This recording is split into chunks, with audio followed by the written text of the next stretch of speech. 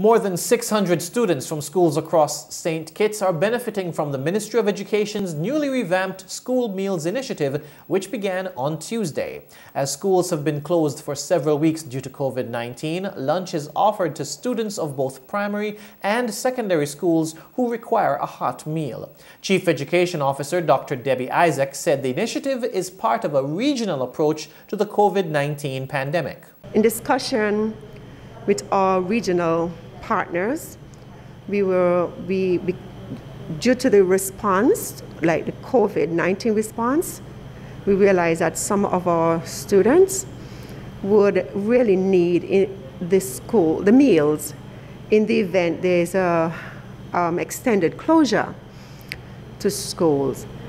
We have realized our counterparts in the region, they too have decided that they would provide continue to provide hot meals for students, especially vulnerable students who would need it.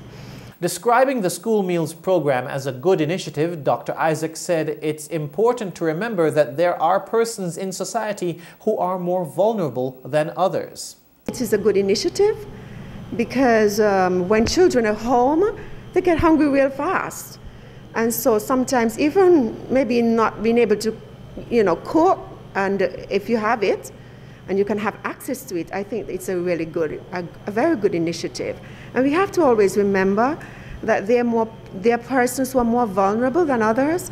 And if they need to access, and uh, it's a form of equity that they can have something, you know, that's um, nutritious. And, and, and, and that is just what we, we need to do and to help them. She spoke of how the new system works. The names have been um, given, the students' names, and uh, we have a list. So if a parent or if a family member wants to come and to collect on behalf of the student, if it's a small child, that is acceptable.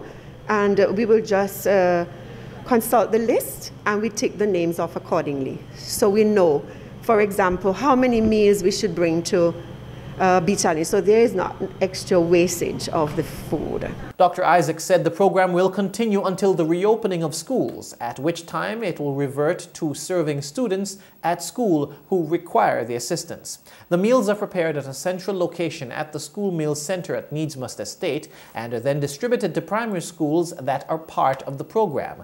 High school students receive their meals at the primary school closest to their school. Students of the Washington Archibald and High School will pick up their meals at Washington Archibald High.